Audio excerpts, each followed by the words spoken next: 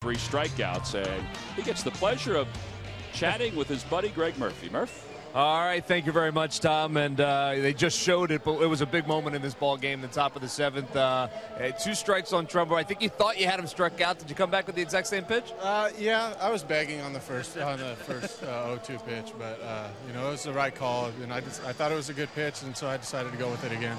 You know, when you're in a moment like that and the adrenaline's pumping, and, and you know, and and you're throwing pitches like that, you're hearing the crowd. Take us through that. I mean, what's that feel like?